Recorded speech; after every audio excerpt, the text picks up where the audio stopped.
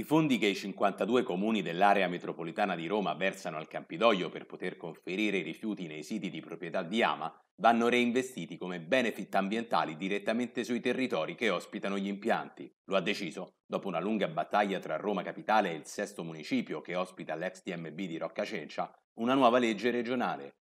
Per il presidente del sesto municipio, Nicola Franco, si tratta di una vittoria ottenuta insieme ai cittadini e quei fondi potranno finanziare non solo le necessarie bonifiche, ma anche la riparazione e il miglioramento delle infrastrutture, oltre ad azioni di maggior repressione dei reati ambientali che in un territorio così vasto e popolato sono ancora troppo diffusi. Diciamo che ha fatto giurisprudenza già perché se leggete oggi i quotidiani nazionali adesso tutti gli altri municipi di Roma stanno dicendo sia per il passato ma anche per il presente e soprattutto per il futuro perché eh, bisogna ricordare che su Roma sono previste delle implementazioni per quanto riguarda diciamo, le varie caratteristiche di impianti di trattamento rifiuti che insomma arriveranno. Il problema è l'80% avere impianti con i miasmi e, e con l'inquinamento perché parliamo sempre di un inquinamento, un inquinamento che sia olfattivo, che, che, cioè, che, sia ambientale, ma il problema serio è tutto il resto, perché comunque sia il passaggio di camion, inquinamento che arriva, cioè eh, il, le strade che si distruggono perché passano questi tir e poi sappiamo bene non ci sono i fondi per, per poterli fare. Quindi voglio dire, non ci possono essere eh, zone di questa città che oltre il danno debbono subire anche la beffa. Quindi questa è una vittoria di, di tutti i cittadini e di tutte quelle zone che poi soffrono.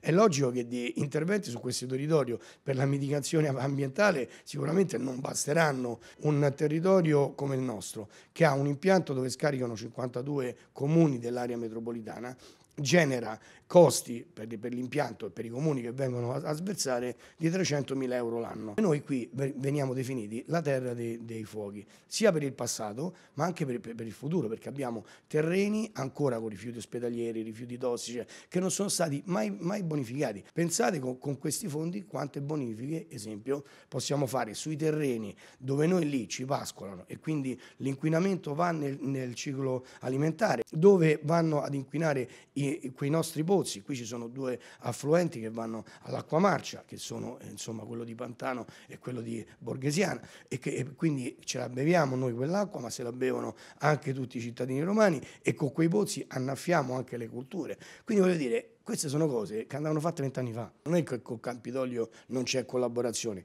I benefit ambientali sono stati un caso che hanno frizionato in maniera pesante con il Campidoglio, ma perché c'erano due visioni diverse. Il Campidoglio non voleva riconoscere che spettassero insomma, eh, direttamente ai municipi e il municipio invece li rivendicava.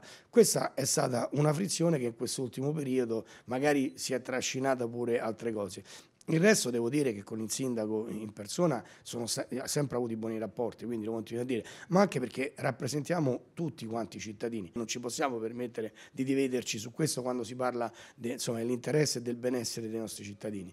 L'unica cosa è che questo è il territorio, è la dodicesima città d'Italia in termini di popolazione, un territorio vastissimo, 113 km quadrati, di cui la buona parte è agro-romano e dove abbiamo la, la più alta percentuale di abbandono rifiuti.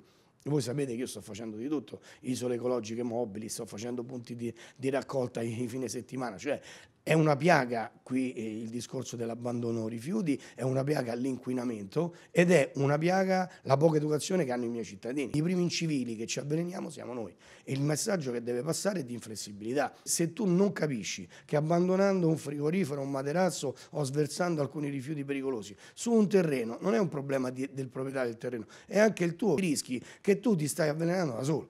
E quindi allora noi dobbiamo mettere in campo alcune azioni di bonifica il prima possibile, ma anche di repressione a quelli che sono i reati di abbandono rifiuti, perché è un reato, e quindi do dobbiamo riportare diciamo, decoro e soprattutto sicurezza al territorio più bello de del mondo, come lo definisco io il mio municipio. E su questo noi ci stiamo battendo.